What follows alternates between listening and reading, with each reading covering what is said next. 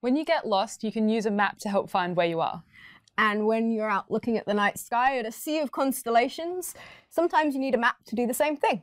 A map of the sky is called a planisphere, and we're going to show you how to make your very own at home.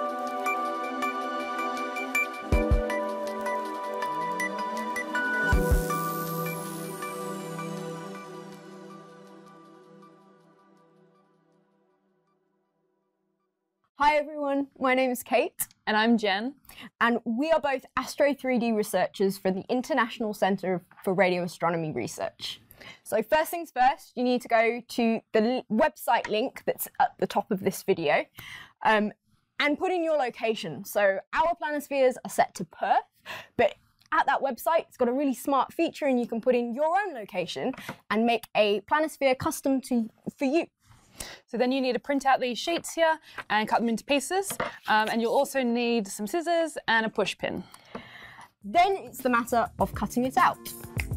And assemble correctly. And there you have it. Your very own planisphere. So how does a planisphere work?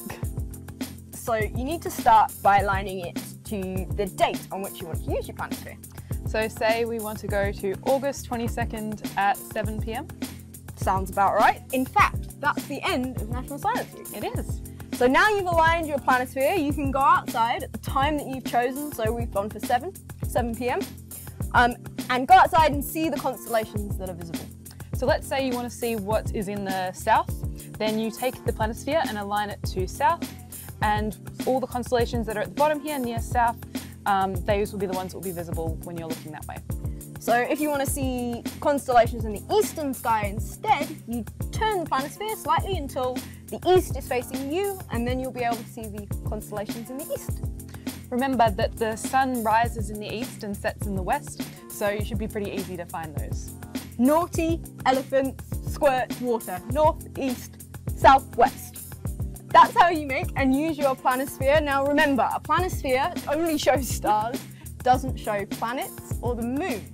But you can use all sorts of free programs like Stellarium. Check out the links below for some suggestions. Have a great National Science Week and make sure you check out any other activities that are on in your area. Links below. Bye. Astro 3D is the Australian Research Council's Centre of Excellence for all-sky astrophysics in three dimensions. Our astronomers are searching to understand the evolution of the matter, light and elements from the Big Bang to the present day this Astro in the Home series is your opportunity to unlock the secrets of the universe with your own two hands. Find out more by visiting our website, following us on social media, or subscribing to our YouTube channel to be notified whenever we upload new content. Now, go explore the universe.